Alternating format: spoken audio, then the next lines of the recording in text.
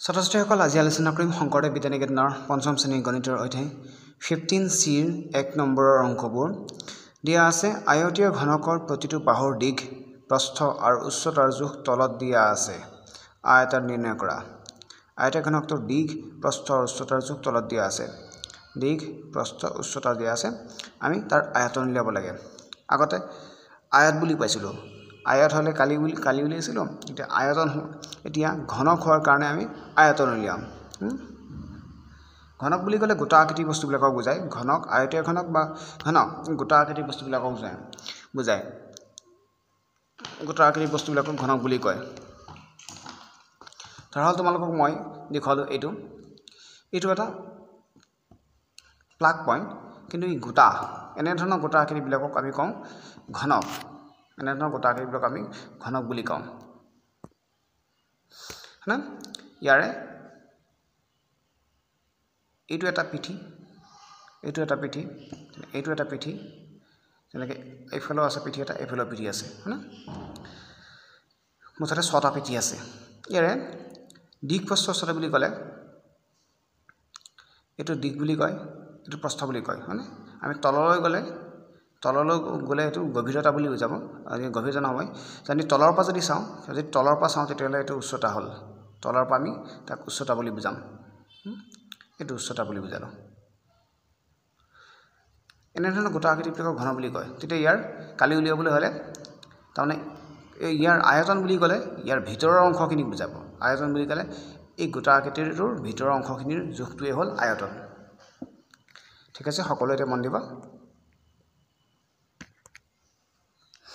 তোমালোকে প্ৰশ্নবোৰ নিজে নিজে লিখি ল'ব পাৰিবা। প্ৰশ্নটো মই দেখুৱাই দিছোঁৱেই এতিয়া এক নম্বৰ এইটো সমাধান দিশ দিয়া আছে তেৰ চেণ্টিমিটাৰ প্ৰস্থ দহ চেণ্টিমিটাৰ উচ্চতা আঠ চেণ্টিমিটাৰ ইয়াতে মই চেণ্টিমিটাৰ চেণ্টিমিটাৰ বাৰে বাৰে লিখি থকা নাই।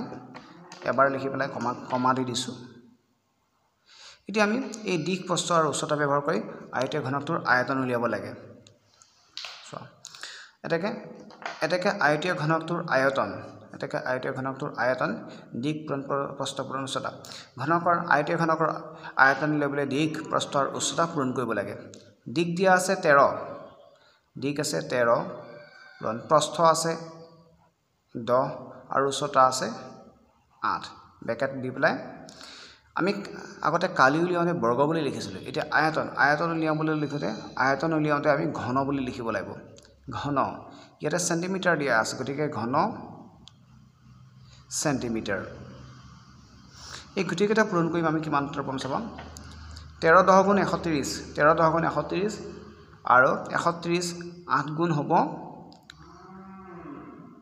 এহেজাৰ চল্লিছ ঘন চেণ্টিমিটাৰ এহেজাৰ ঘন চল্লিছ ঘন চেণ্টিমিটাৰ সকলোৱে নিশ্চয় বুজি পাইছা?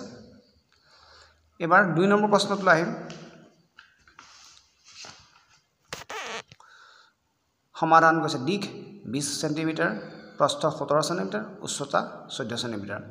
এতিয়া আমি এই জোখ ব্যৱহাৰ কৰি সেই আয়তটো আমি আয়তন নিৰ্ণয় কৰিব লাগে। এতেকে ঘনকটোৰ আয়তন দিশ দিশ পূৰণ প্ৰস্থ পূৰণ উচ্চতা।